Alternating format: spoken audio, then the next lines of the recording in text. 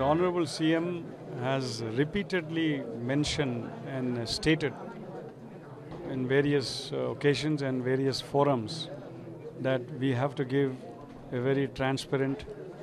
very accountable, uh, efficient, and corruption free uh, police services to the society.